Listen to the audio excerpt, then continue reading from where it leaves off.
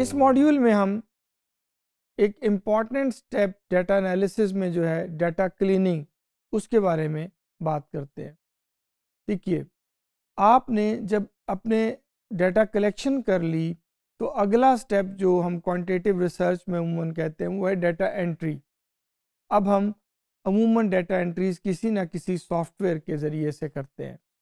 Data आया, आपने उसको कोड किया कोड करने के बाद और जो जो सॉफ्टवेयर आजकल पाकिस्तान में हमारे ज़्यादातर स्टूडेंट्स इस्तेमाल करते हैं सोशल साइंसेस में, वो एसपीएसएस के नाम से है। उसकी फ़ाइल या लोग एक्सेल में भी एंटर कर लेते हैं। वहाँ पे जब एक दफ़ा डाटा एंटर हो गया उस फ़ाइल में तो उसको किसी भी तरह के एनालिसिस से पहले ये देखना ज़रूरी है कि वो डाटा दुरुस्त भी एंटर हुआ या नहीं। एंट्री के वक्त बहुत सी गलतियाँ डाटे में रह सकती हैं। और अगर आप उनको दूर किए बगैर एनालिसिस का आगाज़ कर देंगे तो आप सारा एनालिसिस रन करके फिर अगर आपको गलतियाँ नज़र आएँगी तो आपको उस पूरे का पूरा प्रोसेस रीडू करना पड़ता है। तो ज़रूरी है कि एनालिसिस से पहले डाटा क्लीनिंग कर ली जाए।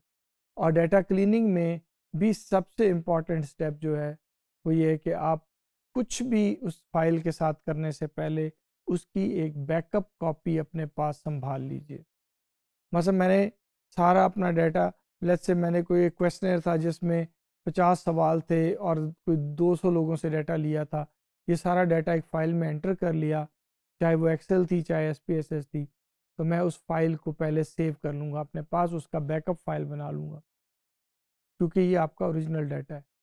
इसके बाद आप उसके साथ जो एक कॉपी बनाएँगे उस फ़ाइल की उस कॉपी में आप डाटे की क्लीनिंग का प्रोसेस स्टार्ट कर सकते हैं। जब आपने फ़ाइल बना ली तो तीसरा स्टेप जो आप इसमें करेंगे, वो डेटे में इनामलीज और एरर्स का ढूंढना है। अच्छा ये इनामलीज किस नौीयत की हो सकती हैं? मसलन टाइपिंग एरर हो गया। मैंने किसी सेल में फोर टाइप करना था, गलती से उंगली दो दफ़ा दब की फोर्टी फोर हो गया। तो मैं उसको फाइंड आउट कर सकता हूँ सर्च में जाके कि फोर्टी फोर वगैरह कोई नंबर जो मेरी एक्चुअल रेंज ऑफ़ डाटा से बाहर है तो मैं सर्च करके देख सकता हूँ, कहीं वो आ तो नहीं रहा फ़ाइल में। मैं फ्रीक्वेंसी टेबल्स जनरेट करके देख सकता हूँ कि कोई ऐसा डिजिट तो एंटर नहीं हो गया जो कि पॉसिबल नहीं था या जिसकी मेरे डाटा में कोई गुंजाइश ही नहीं थी। तो ये इस तरह की टाइप एरर्स हो जाती हैं। इसी तरह उसके अंदर कुछ नाम डुप्लीकेट हो जाता है डाटा मतलब एक दफ़ा एंटर किया, अगले दिन आके बैठ के दोबारा एंट्री शुरू की तो वही फॉर्म दोबारा एंटर कर दिया, याद नहीं रहा। तो आप देखेंगे कहीं डुप्लीकेट तो नहीं हो गया। इसको चेक कर लेते हैं। इसी तरह आउटलायर्स को चेक कर लेते हैं। मैं आगे एक्सप्लेन भी करूँगा आउटलायर्स के बारे में, लेकिन मुख्तसरन ये है कि कोई ऐसा नंबर आपके डाटे में आ रहा हो जो यूजुअली एक्सपेक्टेड नहीं होता। आप देखते हैं कि अच्छा ये एक अजीब सा नंबर आ रहा है जो अमूमन बाकी लोगों ने तो ये नंबर नहीं फिल किया, लेकिन ये किसी एक ने ऐसा नंबर फिल कर दिया और पूरे डाटा सेट में इस तरह का कोई छोटा सा हिस्सा है। तो आप उसको आइडेंटिफाई करें। अभी उनकी ट्रीटमेंट नहीं कुछ करनी, लेकिन आइडेंटिफाई आप उसको कर सकते हैं कि वो कहीं मौजूद हो। इसके मुख्तलिफ़ स्टेप्स हैं जिनके ज़रिए से हम इसको आइडेंटिफाई करते हैं। ये जब आपने कर लिया तो इसके बाद एक और तरह का डाटे में जो मसला आ जाता है एंट्री के बाद, वो है मिसिंग डाटा। नेचुरल सी बात है कि जब आप बहुत सारे लोगों से डाटा कलेक्ट करते हैं तो उनमें से बहुत सारे ऐसे भी लोग होते हैं जो किसी सवाल का जवाब नहीं देते, कई दफ़ा वो किसी एक सफ़े को ही खाली छोड़ देते हैं। यानी उन्होंने डाटा प्रोवाइड ही नहीं किया। अब अगर मैं डाटा ना होने की वजह से अगर मुख्तलिफ़ केसेस को डिलीट करना शुरू करूँ तो मेरा तो कुछ sixty seventy percent data delete हो जाएगा। पर्सन वन ने अपने क्वेश्चन एयर में लेट से क्वेश्चन नंबर फोर नहीं आंसर किया, दूसरे ने अपने क्वेश्चन एयर में क्वेश्चन नंबर बीस नहीं किया, किसी ने अपना जो है वो कह लीजिए क्वालिफिकेशन ठीक नहीं बताई जेंडर गलत कर दिया, कुछ स्कूल गलत लिख दिया तो ये गलतियाँ अमूमन होती हैं। तो अगर इसकी बुनियाद पे मैं डाटा डिलीट करने लगूँगा तो मेरा एक्चुअल डाटा कुछ भी नहीं बचेगा पीछे। मिसिंग डाटा को हैंडल करने के काफ़ी सारे तरीके हैं स्टैटिस्टिक्स में और एसपीएसएस में भी इसकी ऑप्शंस मौजूद हैं।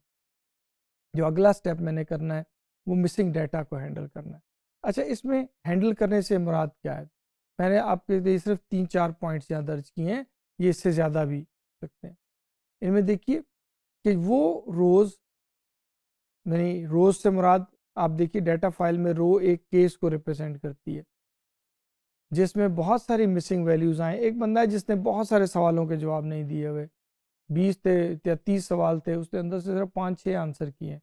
तो आप ऐसी रोज़ को डिलीट कर दें। यानी उनका डाटा दुरुस्त नहीं है।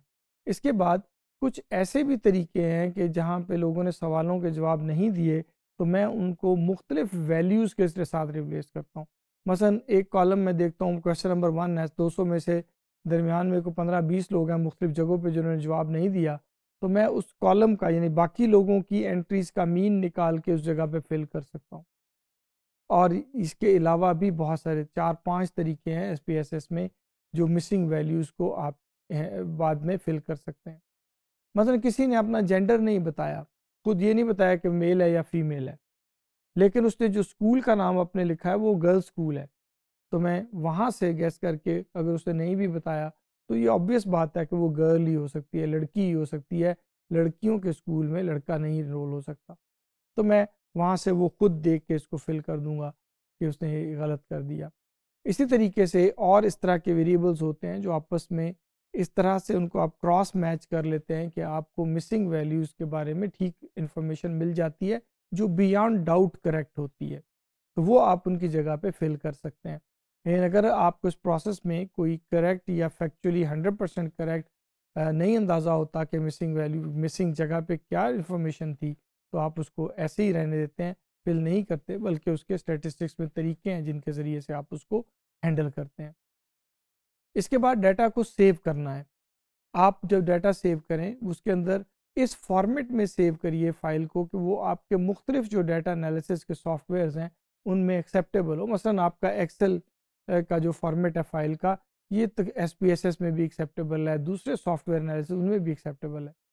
तो आप किसी, उसको ऐसे फ़ाइल फॉर्मेट में बनाइए जो मुख्तलिफ़ सॉफ्टवेयर में इस्तेमाल हो जाता हो। इसी तरह डाटा की इंटेग्रिटी को चेक करना बड़ा ज़रूरी है।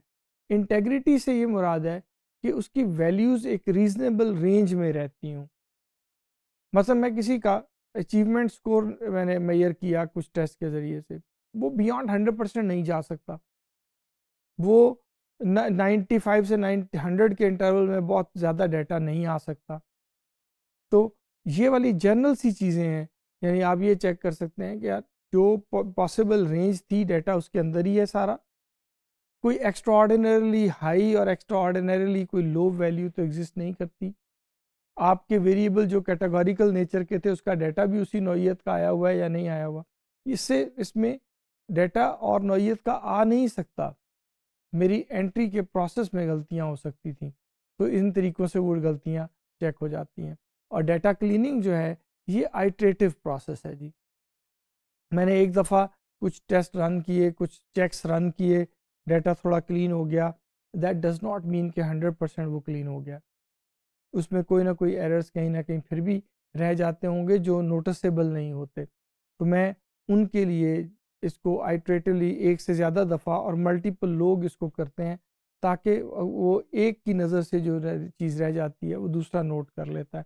और इस आइट्रेटिव प्रोसेस के बाद जब आप एक ख़ास हद तक आप दोबारा उसको चेक करें तो आपको लगे कि आप कोई गलती नहीं मिली तो ये उसका टर्मिनल पॉइंट है। यहाँ पे आप इसको स्टॉप कर देंगे।